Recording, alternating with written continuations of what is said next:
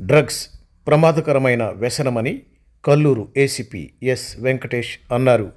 మాదక ద్రవ్యాల వినియోగ నిషేధం అంశంపై సత్తుపల్లిలోని స్థానిక జేవిఆర్ ప్రభుత్వ కళాశాలలో శుక్రవారం విద్యార్థులకు అవగాహన సదస్సు నిర్వహించారు.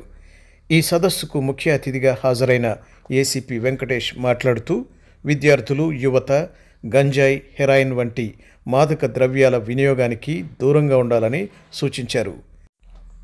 ఈ కార్యక్రమంలో principal Panam Ramachandrarao NSS programme ఆఫీసర్లు D Bangari I Kiran Kumar Bhagya health club convenor B Ravikumar అధ్యాపకులు విద్యార్థులు పాల్గొన్నారు.